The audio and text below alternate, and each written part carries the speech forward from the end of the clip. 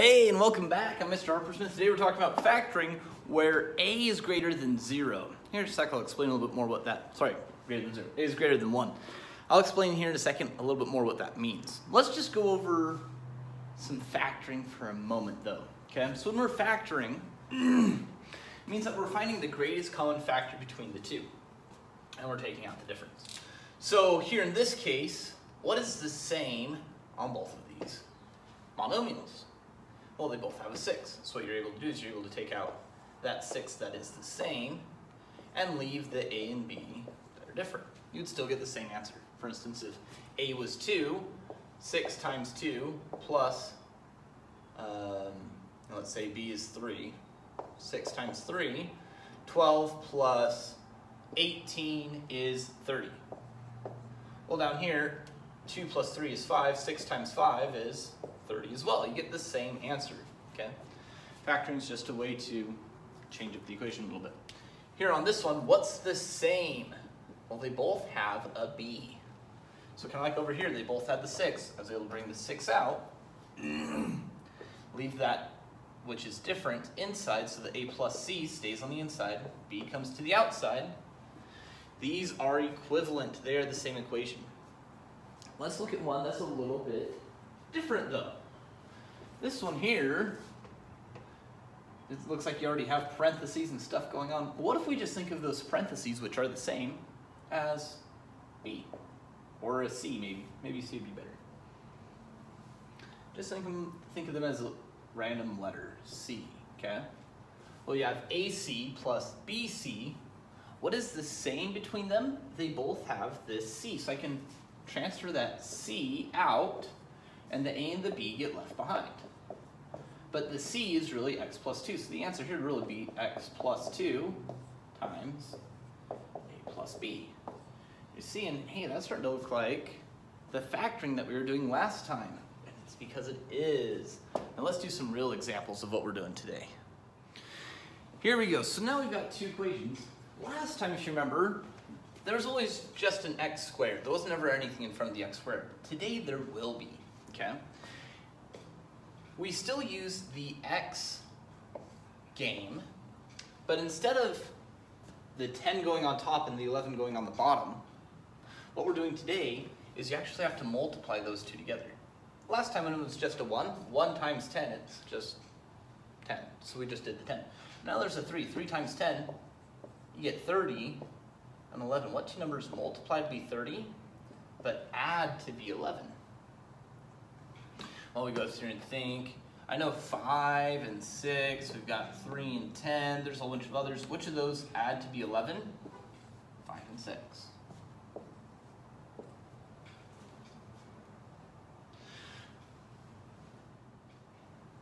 So we've got our five and the six. What this five and six, I'm gonna do with it, I'm gonna split this 11x into a 5x and a 6x. So that, gonna, that will give me 3x squared plus 5x plus 6x plus 10. It's still the same exact equation, is it not? It is. This 11 just became 5 plus 6 instead of 11. Well, here's what we're going to do. I now have two binomials. Okay. What can I factor out of this side? Well, they both have an x. So that'd give me x, 3x plus 5. And over here, I can factor out a 2, because they both are multiples of 2. That leaves me a 3x plus 5. Ooh, now here's the way to check if you did it right. If you get the same binomial, if they're the same binomial, that means that you did this correctly up till now. Okay, if they are different, it means that on one of these, you could have simplified or factored out a little bit more, okay? So, now, all I'm gonna do is I'm just gonna factor out my 3x plus 5s. 3x plus 5. And what's left if I factor out the 3x plus 5s? x plus 2. Okay? Let's try this one over here. I'm gonna do the same thing. 3 times 16 is 48. What two numbers multiply to be 48, but add to be 16 as a middle number. Um, let's see here. We've got, ooh, I think I know what they are. You can go through, make your list, 48 and 1, um, 2 and 24. I'm pretty sure the answer is going to be 4 and 12 though. They multiply to be 48. They add to be 16. So that's going to give me 3x squared plus 4x plus 12x plus 16. Okay? Now it doesn't matter which order you put those in. It doesn't matter. So on this first piece, I need to be looking, all right, what can I factor out?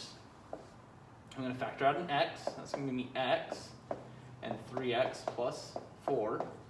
Over here, I can factor out a 4. They're both divisible by 4. If you just do 2, you're going to get the wrong answer. So 4 is going to leave me with 3x plus 4. I factor out the 3x plus 4s. What am I left with? x plus 4. Ta-da! That is your final answer. Let's try another couple.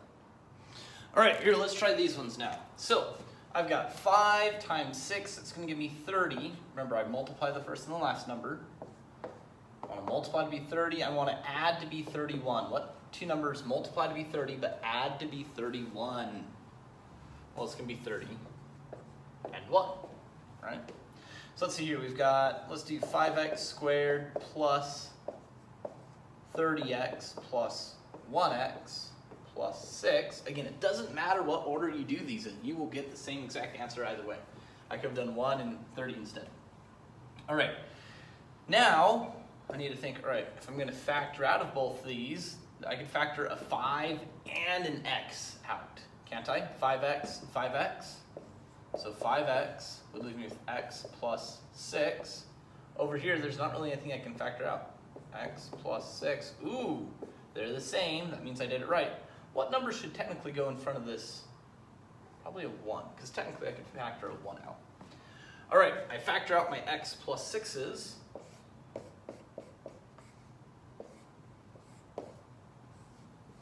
And that leaves me with 5x plus 1.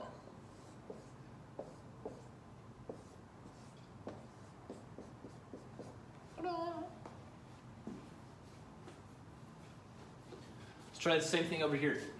5 times 28. Ooh, that's going to be 28, 5, 40, 140.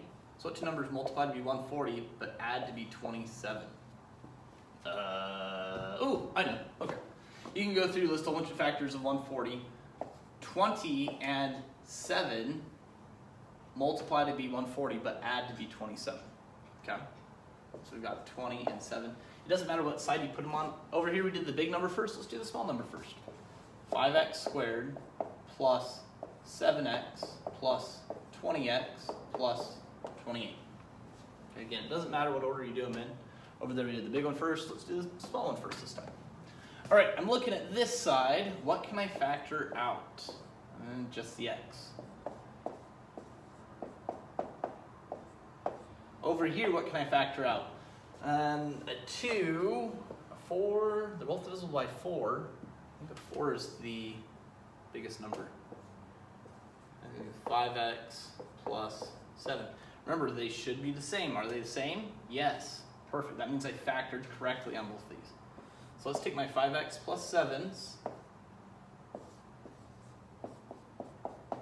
factor them out. and what's left? Plus 4. That parenthesis there is kind of in a funky place. Cool, cool. All right, I want you guys to try the next two on your own. All right, these are the two I want you to try on your own. Pause the video. All right, you should pause the video. You should have your answers now. Let's give it a try. We've got 5 times 2 is 10 and 7. What numbers multiply to be 10 but add to be 7? 5 plus 2. Okay, they multiply to be 10 and add to be 7. So that's going to give me 5x squared plus, let's do 5x plus 2x plus 2. Well, what can I factor out of here?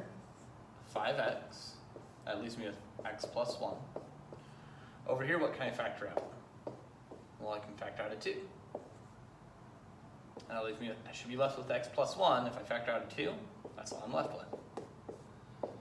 Okay? So let's see here. I've got the 5x and the 2, x plus 1, x plus 1.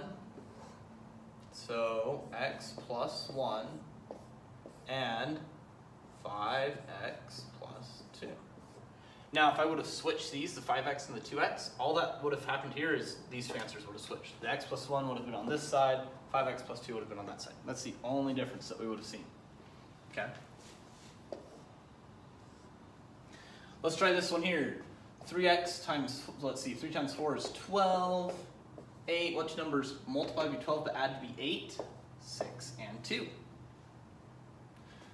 Um, let's put the 2 on the left side. Let's do small first. 3x squared, you know, let's do the 6x plus 2x plus 4. Okay? Again, it doesn't matter. You'll get the same answer either way. Here, we're going to factor out a 3x. Gives me x plus 2 plus 2 x plus 2. Hey, we got the same binomial. That means that we did the factoring right. Good, good. Let's bring our x plus 2's over. That gives me x plus 2 times 3x plus 2. All right, if you need a couple more examples, talk to your teacher. I'm sure they're more than happy to give you a couple more. More than willing to help you a little bit more. Um, if you feel like you got it, perfect. Try the assignment. Harper Smith, signing off for now.